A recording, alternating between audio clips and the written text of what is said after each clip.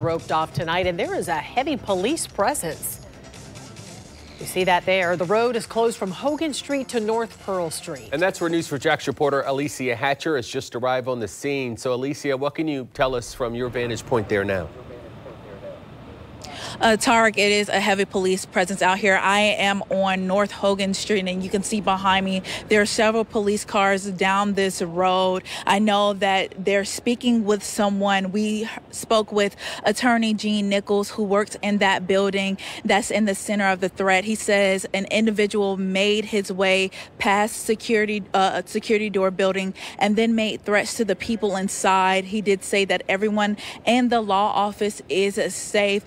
They've been out here for hours just speaking with whoever is in the building and they're just making sure everyone is safe. Now, there are a few people that are out here that's just standing around trying to see what's going on and what's happening. I know uh, a homeless guy just walked by us before we came on air and he was saying that a man uh, had an AK 47 and he went inside of that building. We did see crime scene units arriving here on the scene as well about 10 minutes or so ago. But as we learn more information, we'll bring you the latest here on air as well as on News4JAX. For now, reporting live downtown, Alicia Hatcher, Channel 4, the local station.